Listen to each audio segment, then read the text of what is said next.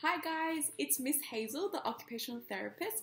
So in today's video, we're going to be learning how to hold a pencil and little tips and tricks on how to hold a pencil and also some pencil warm-ups. So before we do handwriting or any um, tracing, any activities with a pencil, just some warm-ups we can do. So let's get right into it. The first thing is, how do we hold a pencil? So um, the correct method is called a tripod grasp and it looks like this. So we use three fingers, we tuck our two fingers in and we hold it with our three fingers. So pinch, and then our middle finger goes at the back to support. Looks like this from the back and like this from the, um, from the front. Um, to know that you're doing it correctly is making sure you can see a circle right there. When you have this circle, it allows you to push, pull, and turn our pencil around and around, and that helps with the accuracy of when we write. So if I don't have this circle here and I have straight fingers or different types of fingers, I'll have to be using my wrist. When we use our wrist to write, that means our wrist will get really, really sore and um, it'll hurt us when we're writing for a long time. And when we get older and older, we write for longer um, amounts of time and we need to be able to um, use our little fingers um, or our little muscles in our fingers to be able to write. So the first problem we come across is getting used to holding our pencil um, correctly and getting used to picking up from the table correctly. So what we can do um, is something called the pinch and pop method. So pretend my hand is my table. I pinch it with my pinching fingers. On the edge of the pencil just here, I pop into my web space. This area is called your web space. And then we add our middle finger to support. So it's called the pinch and pop. Let's try that again. Pinch, pop, and then I add my middle finger and that will help me write. The second issue is adding too many fingers. So before I was an OT, I was writing like this. I was just adding too many fingers in. And what um, I like to do is add a pom-pom to the fingers that I don't need.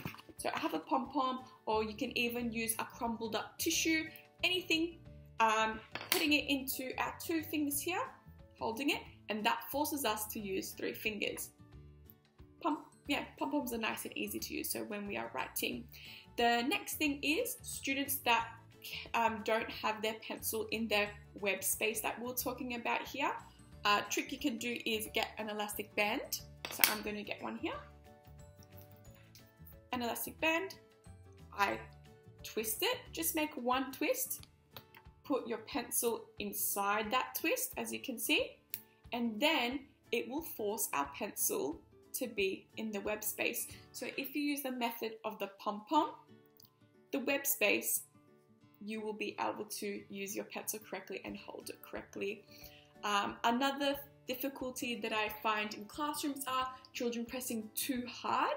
Um, an activity you can do with that is get some foil, some tin foil, put it under the work, um, their worksheet, and making sure that they don't press hard enough to rip the foil. So if they rip the foil, that means they're pressing too hard. So this is like a challenge for your kids to not press so hard because when you press really, really hard, that means you're squeezing all your muscles and you'll fatigue and um, get tired really quickly and not want to write for long periods of time.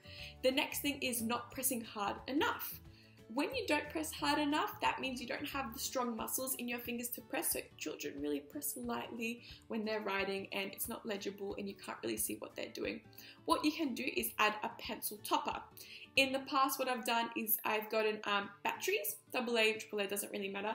Pop one or two, you can just trial both and sticky tape it around and this will add weight to your child's pencil and this will make them press harder at the same time strengthen their hand while they're writing. So they're just some tips and tricks for you and your kids um, to be able to have better pencil grasp and in return have better handwriting. The next thing we're going to be talking about is finger warm up. So before we do our handwriting, let's warm up our fingers um, so we're ready to go.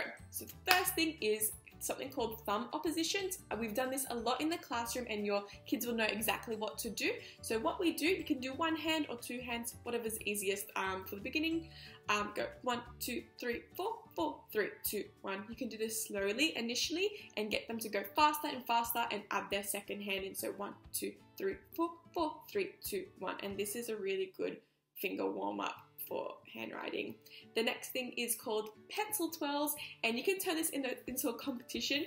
I know my students really love this one. So you get a pencil and teach them how to windmill it or pencil twirl it. Twirl it around, twirl it around, and you can turn this into a competition by whoever drops their pencil first loses and the other person wins. You can make this harder by getting the children to close their eyes, spin in a circle, go on one foot, just whatever, and um, whoever drops their pencil first loses. There is some um, finger worms to go down and back up, down and back up, and also spinning it in a circle, just like this. It um, warms up our fingers. So I really, really hope you enjoyed this video and I hope it's helpful. I've also attached um, some handwriting worksheets uh, to this so your kids can practice their pencil control. So I'll see you guys next week and thank you so much.